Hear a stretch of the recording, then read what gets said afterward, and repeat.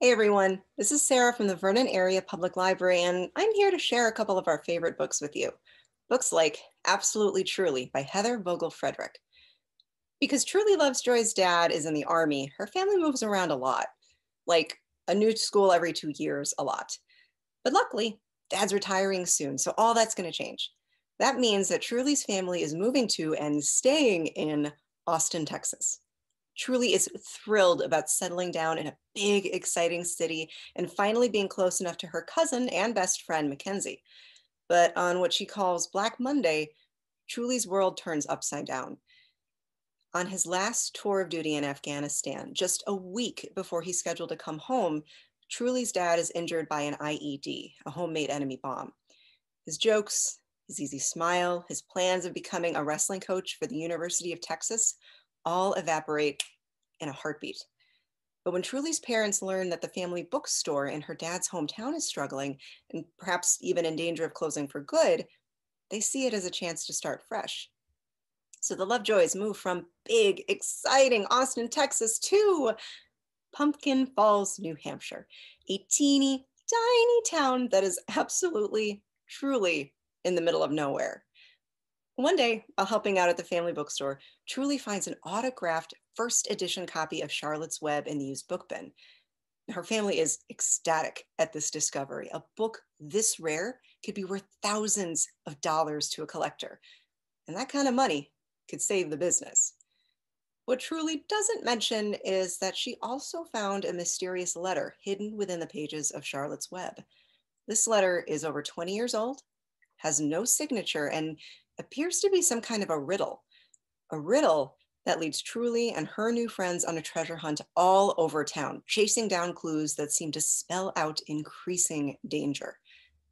This mystery is full of colorful and just plain strange characters, hidden references to some of your favorite books, and a scavenger hunt that'll keep you guessing. And absolutely truly, you'll discover that there's a lot more to Pumpkin Falls than meets the eye. Not feeling the mysterious, quirky small town vibe? Maybe your interests lie a little bit further away, beyond the stars perhaps. Watch the universe unfold before you in Planetarium. Each chapter or gallery will take you farther and farther away from Earth. The planetarium is filled with all kinds of facts about space, from planets in our solar system to the lives of stars, galaxy clusters, and a universe beyond. Take black holes, for instance although they have an uncommonly strong gravitational pull, they aren't exactly the giant vacuum cleaners sucking up the universe like you see in movies. Only matter that gets very, very close to them is actually in danger of being pulled in.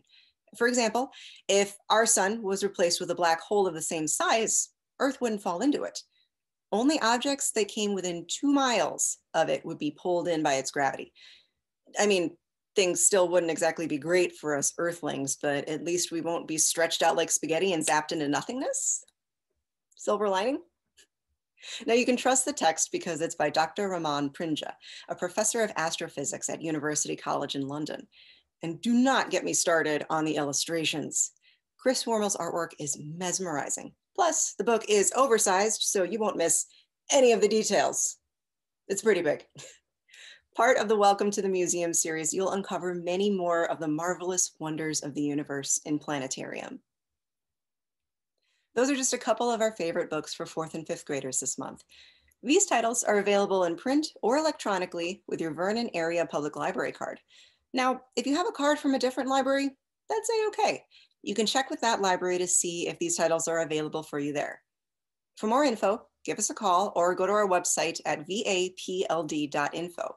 You can also check out other great recommendations on our book talk guide. Thanks, and we'll see you guys later.